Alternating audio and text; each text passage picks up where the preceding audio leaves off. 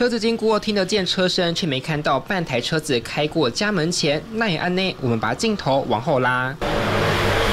真的没看错，这道双开门就是在二楼。看看窗户上还挂着拖把。从侧面看，二楼是铁皮建筑，一楼大部分空间是骑楼。民众经过很难不注意它。嗯，不太懂这个门的设计，蛮惊讶的，就不清楚它为什么会开在这个位置。开门就觉得会掉下来，就是不知道，觉得设计的很奇葩这样。这是材料吗？还是去年？啊，这个地是他们的。我们就帮他租租的，不是啊，他要挑剔你，我没有办法。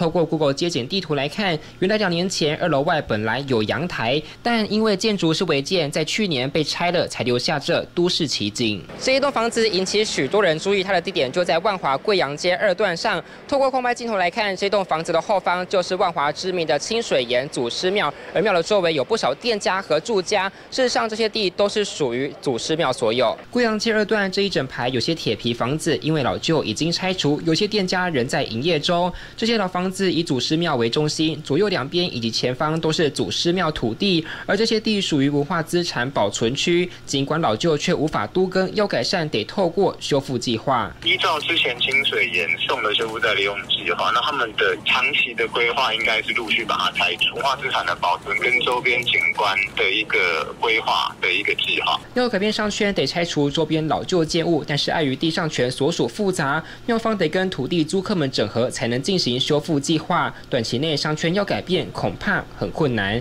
东能新闻吴彦军、廖前陈培志台北报道。